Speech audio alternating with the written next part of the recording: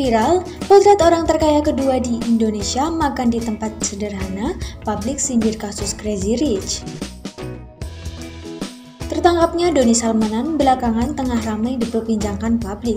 Pria yang sempat mendapat julukan Crazy Rich Bandung ini ditetapkan sebagai tersangka kasus investasi bodong. Sebelumnya, Doni Salmanan dikenal dengan gaya hidupnya yang mewah dan glamor. Hal ini ternyata justru berbeda dengan potret orang terkaya kedua di Indonesia, Michael Bambang Hartono. Potret Michael Bambang, ulangi, potret Michael Bambang Hartono yang tengah bersantap di sebuah warung makan sederhana pun jadi viral. Foto itu dibagikan melalui salah satu akun Twitter. Di foto itu disebutkan bahwa Michael Bambang Hartono merupakan pelanggan setia Tahu Pong Karangsaru Semarang. Warung makan Tahu Pong Karangsaru ini berlokasi di Jalan Condrokusumo, Kecamatan Semarang Tengah.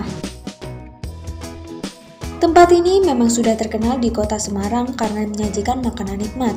Tempatnya pun cukup sederhana, yakni di sebuah kios dengan meja kayu dan kursi plastik. Michael Bambang Hartono makan dengan menggunakan kaos kerah berwarna hijau.